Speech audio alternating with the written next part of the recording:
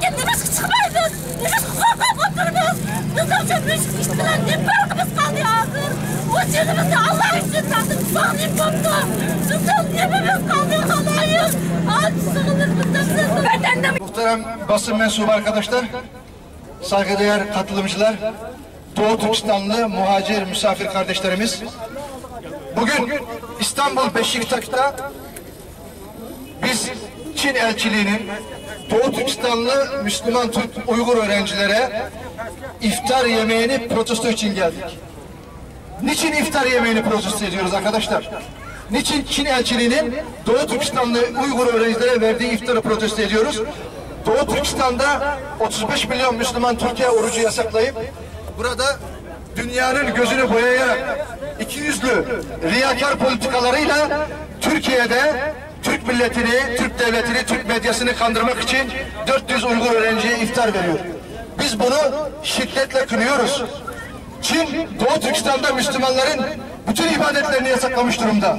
Çin, Doğu Türkistanlıların namaz kılmasını, oruç tutmasını, onların en basit ibadetleri dahi yerine getirmesini yasaklarken, bir milyon Doğu Türkistanlıyı kamplarda işkenceyle öldürürken, yine cezaevinde yatan Doğu Türkistanlı kardeşlerimizin ailesine kardeş aile adı altında Çinli göçmenler yerleştirilirken Doğu Türkistanlı iffetli kızlarımızı Çinli erkeklere peşkeş çekip onların köle cariyesi haline getirirken onları kul köle ederken dinli alimlerimizi bizim en son Abdülhat Maksum Hacim şehit edilmiştir ki yine onlarca yüzlerce dini alim şehit edilmektedir.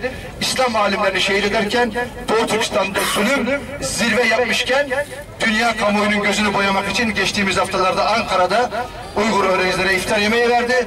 Bugün İstanbul'da Beşiktaş'ta Uygur öğrencilere iftar yemeği verdi. Bu kardeşlerimiz aileleri Doğu Türkistan'da rehin olduğu için bu iftar yemeğine gitmek zorunda. Bu iftar yemeğine katılmak zorunda. Bu kardeşlerimiz biz elbette bunları ayıplamıyoruz. Bunlar bizim evladımız. Ama burada asıl sorumlu olan, asıl yanlış içinde olan, asıl iki yüzlü politika uygulayan Çin yönetimi bugün utanmazca, hayasızca yukarıda gördüğünüz restoranda Doğu Türkistanlı öğrencileri tehditle iftar yemeğine davet etmiş durumda ve yarın basında Çin yönetiminin Müslümanlara hoşgörüsünden Türk Uygur öğrencilere hoşgörüsünden onlara göstermiş olduğu hamiyetperverlikten bahsedecek. Ve bizi ne zamana kadar aldatacak? Bizi ne zamana kadar kandıracak arkadaşlar? Biz Çin'in bu ikiyüzlü politikalarını Türkiye'deki Doğu Türkistanlı olarak bugün Beşiktaş'ta o iftarı kabul etmiyoruz. Çin'in Doğu Türkistan'da 35 milyonu öldürerek, katlederek, dinsizleştirerek, burada birkaç yüz Doğu Türkistanlıya iftar vererek medya maymunluğu yapıp burada dezenformasyonla kendi imajını, lekelenmiş imajını e, düzeltmeye çalıştığını biz buradan görüyoruz ve bunu asla kabul etmiyoruz. Ve bugün Türkiye'deki Doğu Türkistanlılar yine biz bu Ramazan'daki oruçta orucumuzu kendimiz, kendi imkanlarımızla açacağız ve burada Allah'a dua edeceğiz. Doğu Türkistan'ın bağımsız olması ve Çin işgalinden bir gün önce kurtulması için Allah'a münacat edeceğiz ve dua edeceğiz. Burada ben şunu söylemek istiyorum.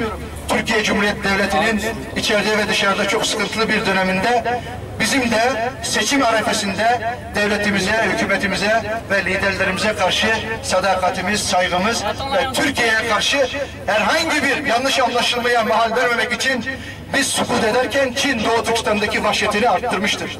Özellikle Doğu Perinçek, İşçi Partisi ya da Vatan Partisi Genel Başkanı Doğu Perinçek Doğu Türkistanların terörist olduğunu, Çin'in ise demokratik bir devlet olduğunu iddia etmekte. Biz bu şahsı nefretle kınıyoruz, lanetliyoruz. Eğer Çin'e satıldıysa, Çin'e iradesini rehin ettiyse bu Doğu Türkistanlara ihanet etmesine gerekçe değildir. Doğu Türkistanlılar üzerinden eğer oradan bir siyasi rant devşirmeyi düşünüyorsa Türk milleti asla ve asla Doğu Perinçek'e prim vermeyecektir. Bu yüzden hiçbir zaman yüzde bir dahi oy alamamıştır. Biz Doğu Perinçek'in bu iftiralarını asla kabul etmiyoruz ve buradan nefretle kendisini kınıyoruz. Basın mensubu arkadaşlar, muhterem hemşerilerimiz Osman bugün, Batur'un torunlarıyız. bugün Osman biz Batur'un torunlarıyız. Bugün Osman biz- Batur'un torunlarıyız. Osman Batur'un torunlarıyız. Bugün biz İstanbul'dan şunu ifade etmek istiyoruz. Doğu Türkistanlar İslam dünyasının, Türk dünyasının en mazlum coğrafyası, en yetim coğrafyası, en kimsesiz coğrafyası. Biz Türk İslam coğrafyasına, insanlığa sesleniyoruz. Eğer insanlık insan haklarını arıyorsa Doğu Türkistanlar insandır. Eğer İslam dünyası Müslüman arıyorsa Doğu Türkistanlar Müslümandır. Eğer Türk dünyası kardeş ve akraba arıyorsa Doğu Türkistanlar Türktür.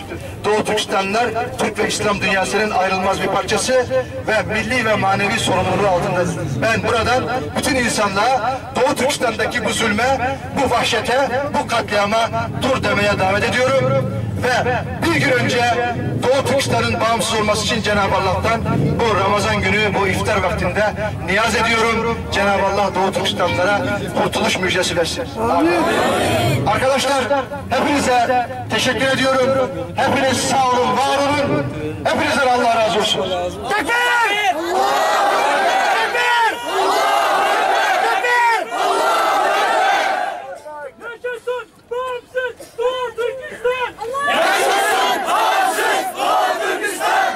Yaşasın bağımsız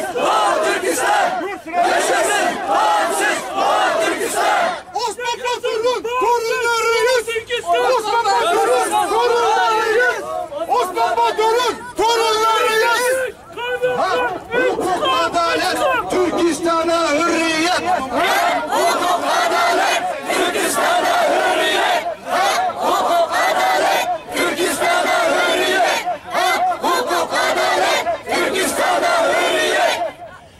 İşgalci, komünistçin, Doğu Türkistan'dan defol.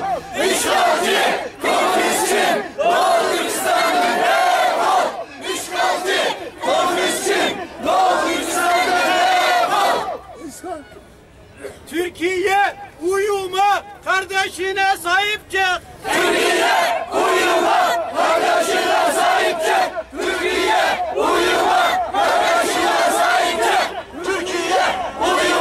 kardeşine sahip çık.